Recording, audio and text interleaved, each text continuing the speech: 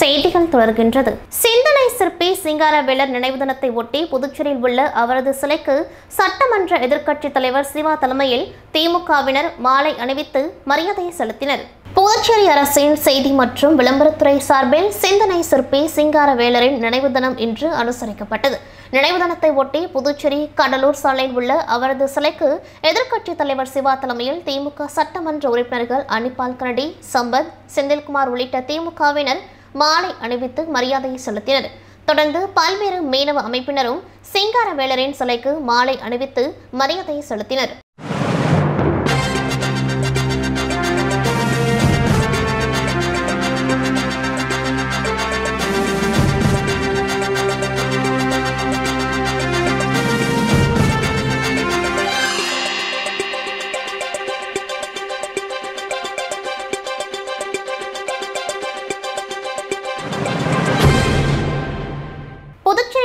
பள்ளி மாணவர்களுக்கு சமையல் எரிவாயுவை பாதுகாப்பாக பயன்படுத்துவது குறித்து செயல் விளக்கம் அளிக்கப்பட்டது.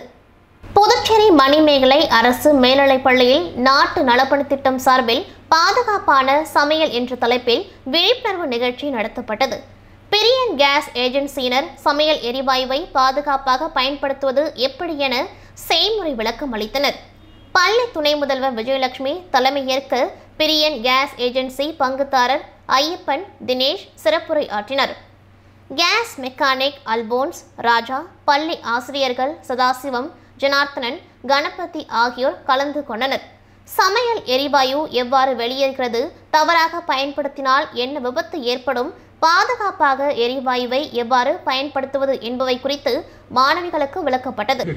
ஏன் வைக்கக்கூடாதுன்னா கேஸ் வந்து காற்றை விட கனமானது. கீழே படி. அங்கெல்லாம் கேஸ் லீக் ஆகுற வாய்ப்பு உண்டு இந்த இடம். அது எப்படி நம்ம அறியணும்னா டக்குன்னு போயிட்டு நம்ம அது வாசனைன்னா இதில் வந்து கேஸ் ஃபஸ்ட்டு என்ன பண்ணணும்? இதை ஆன் பண்ணணும். அதுக்கப்புறம் தான் இதை வந்து ஆன் பண்ணி எரிய வைக்கணும். எரிபொருளை கிட்ட வச்சுக்கின்னு தான் ஆன் பண்ணி நீங்கள் எரிய வைக்கணும். முதல்ல கேஸு இங்கே வந்துடும் ஏன்னா அதிகமாக பவர் உள்ளது. நானூற்றி அறுபது மடங்கு விரிவடைக்கூடிய சொல்கிறோம் பாருங்க. அதுமாரி விரிவடைஞ்சு சீக்கிரம் கேஸ் வரும். லாஸ்பேட்டை தொகுதி குறிஞ்சி நகர் பால்ராஜ் அவர்களின் பிறந்தநாள் விழா சிறப்பாக கொண்டாடப்பட்டது. லாஸ்பேட்டை தொகுதி குறிஞ்சி நகர் பால்ராஜ் அவர்களின் பிறந்தநாள் விழா சிறப்பாக கொண்டாடப்பட்டது. இதில் லயன் கிளப் தலைவர் பிபிஎஸ் ரமேஷ்குமார் தலைமை தாங்கினர். தலைவர் ஐயப்பன் மற்றும் பிரபு என்கிற ராமலிங்கம் இளைஞர்கள் ஊர் பொதுமக்கள் கலந்து கொண்டனர்.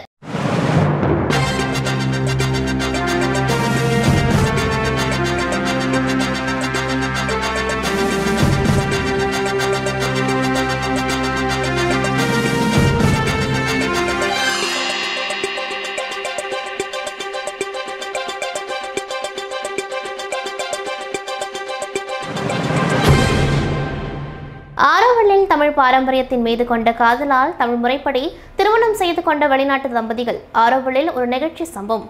இங்கிலாந்து நாட்டை சேர்ந்தவர் மைக்கேல் இவரது மகன் அலன் இவர் இங்கிலாந்தில் உள்ள லியோ ஆகிய இருவரும் கடந்த ஐந்து வருடங்களாக காதலித்து வந்தனர். இந்நிலையில் கடந்த மூன்று வருடங்களுக்கு முன்னர் ஆரோவில் வந்த அவர்கள் இங்கேயே தங்கி அலன் ஆரோவிலில் விவசாய பணி செய்து வருகிறார். அவரது காதலி ஆரோவிலில் உள்ள மாற்றுத்திறனாளிகள் பள்ளியில் வேலை செய்து வருகிறார். இந்நிலையில் தமிழ் மீது கொண்ட தீராத காதல் காரணமாக தமிழர்களின் பாரம்பரிய முறைகள் உடைகள் போன்றவற்றின் ஈர்ப்பு காரணமாக அவர்கள் இருவரும் தமிழ் முறைப்படி திருமணம் செய்து கொள்ள முடிவு செய்தனர். இந்நிலையில் இன்று ஆரோவில் உள்ள ஒரு பள்ளியில் தமிழர்கள் முறைப்படி வேட்டி சிலை அணிந்து மாங்கல்யம் கட்டி திருமணம் செய்து கொண்டனர். இந்த செயல் அப்பகுதியில் உள்ள தமிழர்கள் மத்தியில் பெரும் மகிழ்ச்சி ஏற்படுத்தியது. தமிழ் மீது கொண்ட காதலால் தமிழர் முறைப்படி திருமணம் செய்து கொண்ட வெளிநாட்டு தம்பதிகளை அப்பகுதி தமிழ் ஆர்வலர்கள் வெகுவாக பாராட்டி வருகின்றனர். இன்று நடைபெறந்த காத்திருப்பு போராட்டத்தை காவல்துறை அனுமதி கொடுக்காமல் அலைக்கழித்ததை கண்டித்து வாயில் கருப்பு துணி கட்டி அமைதியாக போராட்டம் நடத்தினர். புதுச்சேரியில் காமராஜர் நகர் தொகுதிக்குட்பட்ட சமிப்பிள்ளை தோட்டம் பகுதியில் மக்கள் விருப்பத்திற்கு மாறாக மக்கள் வசிக்கக்கூடிய இடத்தில் கொடுக்கப்பட்ட மதுபான அனுமதியை ரத்து செய்யக்கோரி தொடர் போராட்டங்களை நடத்தி வருகின்றனர்.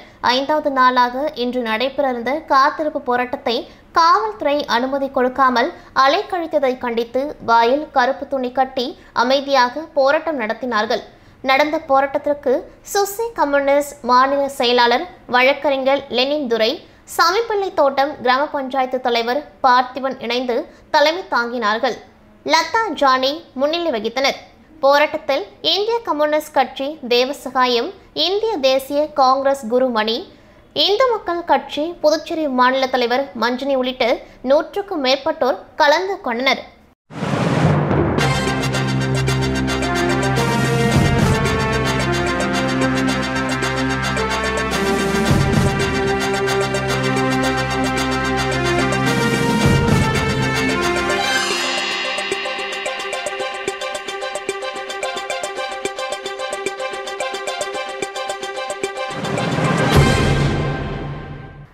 பட்ஜெட்டை கண்டித்து புதுச்சேரி சட்டமன்றம் அருகே ஏஐடியூசி அமைப்பினர் நூற்றுக்கும் மேற்பட்டோர் கண்டன ஆர்ப்பாட்டத்தில் ஈடுபட்டனர். மத்திய அரசு தாக்கல் செய்த நிதிநிலை அறிக்கையில் நிதி மூலதன ஏகபோக முதலாளிகளுக்கு ஆதரவானது. சமத்துவமின்மையை கூர்மையாக்கும் தன்மை கொண்டது. வேலையில்லா திண்டாட்டத்தை அதிகரிக்க வகை செய்கிறது. ஏழ்மையை மேலும் வளர்க்கும் நிலையை கொண்டுள்ளது. அத்தியாவசிய பொருட்களின் விலையை மேலும் அதிகரிக்க வகை செய்கிறது. கல்வி மற்றும் சுகாதாரம் போன்றவை பெரும் செலவினம் உள்ளதாக மாறும் அவலத்தை உருவாக்குறது. ஏழை எளிய உழைக்கும் மக்களை மேலும் கையின் நிலைக்கு தள்ளிவிடுகின்றது. மேலும் பெரும் முதலாளிகளுக்கு ஆதரவான ஏழை எளிய உழைக்கும் மக்களுக்கு எதிரான இந்த நிதிநிலை அறிக்கையை மக்களிடம் அமல்படுத்தும் விதமாக ஏஐடியூசி அகில இந்திய தலைமை பிப்ரவரி ஆறு முதல் பதினொன்று வரை நிதிநிலை அறிக்கை எதிர்ப்பு வாரம் கடைபிடித்து கண்டன இயக்கங்கள் நடத்த அறைக்கோள் விடுத்துள்ளது. அதன்படி புதுச்சேரி ஏஐடியூசி தொழிற்சங்கம் சார்பில் புதுச்சேரி சட்டமன்றம் அருகே ஏஐடியூசி மாநில பொதுச் செயலாளர் சேதுசெல்வம் தலைமையில் நடைபெற்ற ஆர்ப்பாட்டத்தில் நூற்றுக்கும் மேற்பட்டோர் பங்கேற்று மத்திய அரசுக்கு எதிராக கண்டன கோஷங்களை எழுப்பினர்.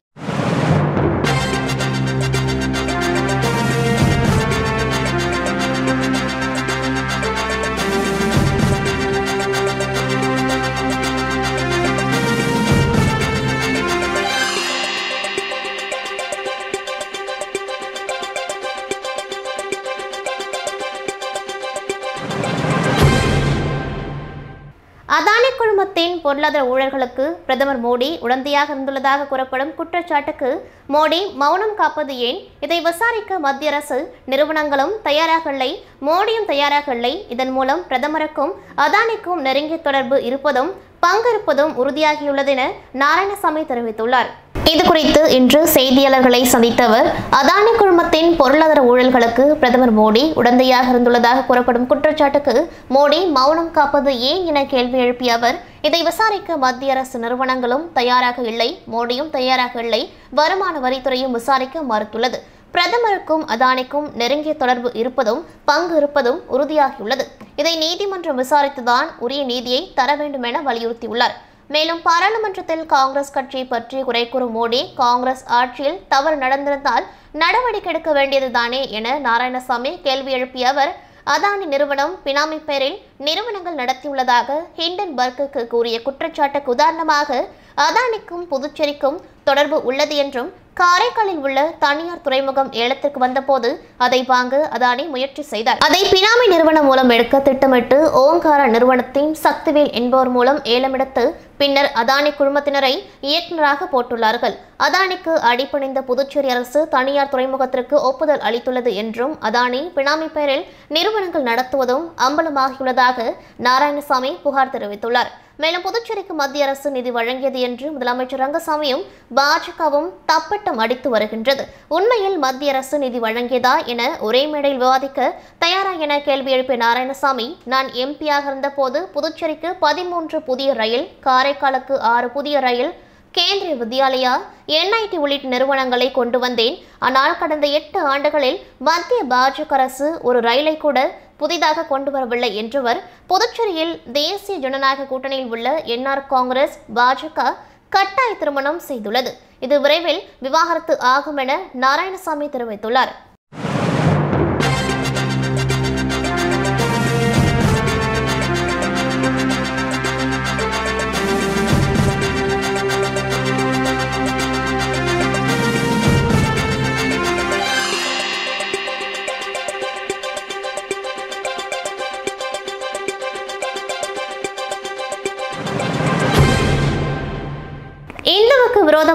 ஆபாசமாகவும் எழுதிய பேனாவிற்கு ஒரு சின்னமா எனவும் திராவிட கட்சிகளின் தலைவர்கள் வாழ்ந்த ஒழுக்கம் கெட்ட வாழ்க்கைக்கும் ஊழலுக்கும் பேனா நிமிர வேண்டுமா என பாஜகவின் முன்னாள் தேசிய செயலாளர் ஹெச் ராஜா தெரிவித்துள்ளார். மத்திய அரசு தாக்கல் செய்துள்ள இரண்டாயிரத்தி இருபத்தி மூன்றாம் ஆண்டுக்கான பட்ஜெட் தொடர்பான கலந்துரையாடல் நிகழ்ச்சி புதுச்சேரி கிழக்கு கடற்கரை சாலையில் உள்ள தனியார் விடுதியில் நடைபெற்றது. புதுச்சேரி மாநில பாஜக தலைவர் சாமிநாதன் தலைமையில் நடைபெற்ற நிகழ்ச்சியில் பாரதிய ஜனதா கட்சியின் முன்னாள் தேசிய செயலாளர் ராஜா உள்ளிட்ட நூற்றுக்கும் மேற்பட்ட பாஜக முக்கிய நிர்வாகிகள் பங்கேற்றனர். நிகழ்ச்சிக்கு பின் செய்தியாளர்களிடம் பேசிய ராஜா இந்த பட்ஜெட்டை மோடி தலைமையிலான பாஜக அரசு போட்டதன் காரணத்தினாலேயே எதிர்க்கட்சிகள் இதற்கு எதிர்ப்பு தெரிவித்ததாகவும் இந்த பட்ஜெட் அனைத்து தரப்பினரும் வரவேற்கும் வகையில் வளர்ச்சிக்கான பட்ஜெட்டாக அமைந்துள்ளதாக தெரிவித்தார். எதிர்க்கட்சிகள் கூறுவது போல் இது தேர்தலுக்கான பட்ஜெட் தான். ஏனென்றால் ஏழை எளிய மக்களுக்காக போடப்பட்ட பட்ஜெட் அதனால் மக்கள் வாக்களிப்பார்கள் என்றால் மகிழ்ச்சி என தெரிவித்தார். தமிழகத்தில் விடியல் ஆட்சி நடைபெற்று வருகிறது என ஸ்டாலின் கூறி வரும் நிலையில் அமைச்சர்கள் தொண்டர்களையே அடிக்கிறார்கள். இது விடியல் சர்க்கார் இல்லை விடியா மூஞ்சி சர்க்கார் எனவும் இதற்கு ஈரோடு தேர்தலிலேயே மக்கள் பதில் கொடுப்பார்கள் எனவும் விமர்சனம் செய்தார். தொடர்ந்து கலைஞரின் நினைவிடத்தில் பேனா சின்னம் வைப்பது தொடர்பாக செய்தியாளர்களின் கேள்விக்கு பதிலளித்த அவர் எத்தனை முறை இந்துவுக்கு விரோதமாகவும் ஆபாசமாகவும் எழுதிய பேனாவிற்கு ஒரு சின்னமா எனவும் திராவிட கட்சிகளின் தலைவர்கள் எந்த மாதிரியான வாழ்க்கையில் வாழ்ந்தார்கள் அவர்கள் ஒழுக்கம் கெட்ட வாழ்க்கை மற்றும் ஊழலை மட்டுமே அனைவரும் பார்த்துள்ளனர். எனவே ஊழலுக்கும் ஒழுக்கமின்மைக்கும் பேனா நிமிர வேண்டுமா என கேள்வி எழுப்பினர்.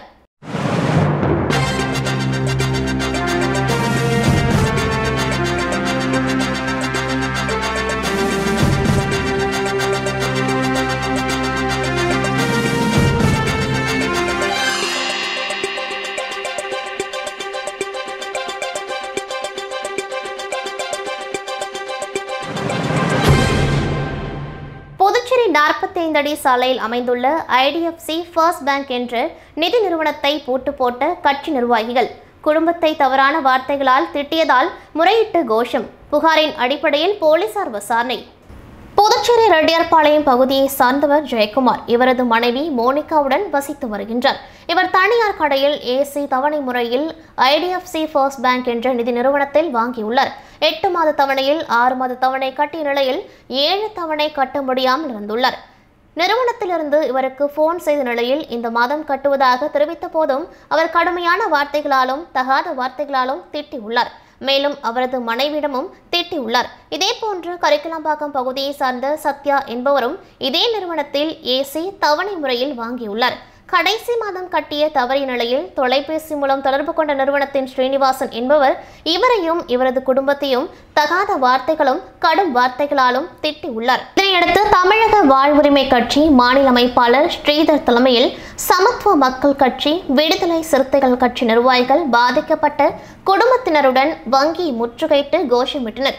தொலைபேசியில் மிரட்டியதாக கூறிய நபர் இல்லாததால் கோபமடைந்த குடும்பத்தினர் கட்சி நிர்வாகிகளுடன் அங்கிருந்த ஊழியர்களை வெளியேற்றிவிட்டு நிறுவனத்தை பூட்டி போட்டனர். இதனால் சிறிது நேரம் பரபரப்பு ஏற்பட்டது. தொடர்ந்து பாதிக்கப்பட்டவர்கள் கட்சி நிர்வாகிகளுடன் சென்று பெரியகடை போலீசாரிடம் புகார் அளித்தனர். புகாரின் அடிப்படையில் போலீசார் விசாரணை மேற்கொண்டு வருகின்றனர்.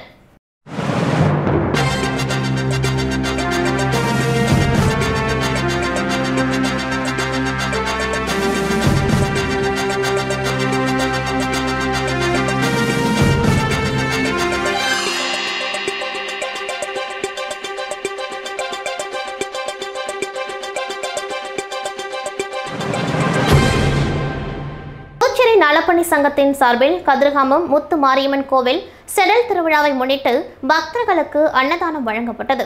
மண்டல அமைப்பாளர் செல்வராஜ் வரவேற்புரை வழங்கினர். வட்டாட்சியர் ஐயனார் துணைத் தலைவர் பரிதா முன்னிலை வகித்தனர். மண்டல அமைப்பாளர் வேலாயுதம் வாழ்த்துரை வழங்கினர். வழக்கறிஞர் மீனாட்சி கல்யாணசுந்தரம் நோக்குரை வழங்கினர்.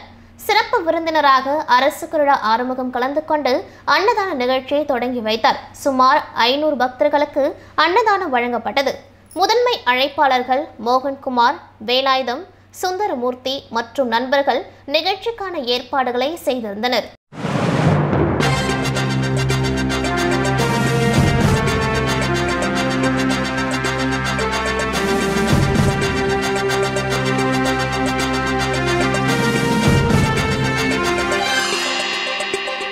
இத்துடன் இந்த செய்தி நிறைவடைகின்றது. நன்றி வணக்கம்.